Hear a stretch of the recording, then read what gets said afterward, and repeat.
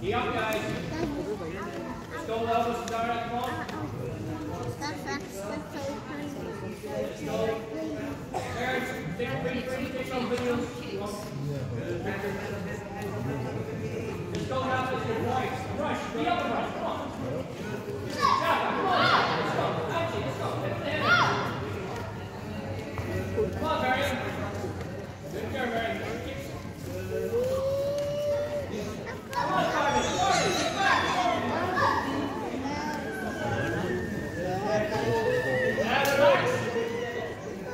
Good.